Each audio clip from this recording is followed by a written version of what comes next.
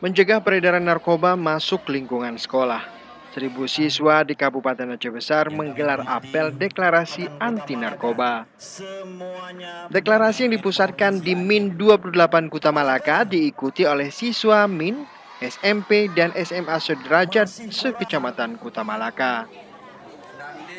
Para siswa membacakan deklarasi anti narkoba di hadapan guru dan perwakilan Badan Narkotika Nasional BNN Provinsi Aceh.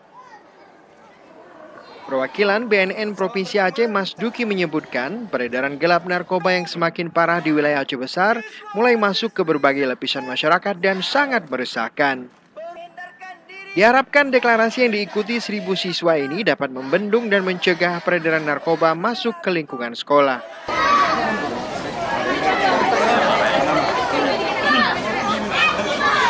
Kegiatan ini sangat positif dan harus diikuti oleh yang lainnya. Deklarasi seribu siswa anti narkotika. Dan terima kasih kepada Kepala Kemenak Aceh Besar dengan memfasilitasi semua MIN, MEMSEN, dan MAN. Kenapa demikian? Karena banyak sudah mulai generasi muda kita banyak menyalahgunakan narkotika. Terutama sudah ada masuk MAN itu sabu.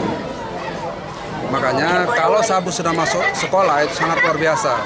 Sehingga sudah dikatakan darurat narkoba. Ketika sudah darurat narkoba, maka semuanya harus berpartisipasi. Semua stakeholder harus, harus berpartisipasi, termasuk masyarakat, orang tua. Maka jaganya anak dari penyalahgunaan narkotika. Kegiatan yang diselenggarakan Ikatan Keluarga Anti Narkoba ini juga bertujuan mengedukasi para siswa tentang bahaya narkoba. Diharapkan para siswa mampu memproteksi diri dari pengaruh dan bahaya narkoba sejak dini. 不一样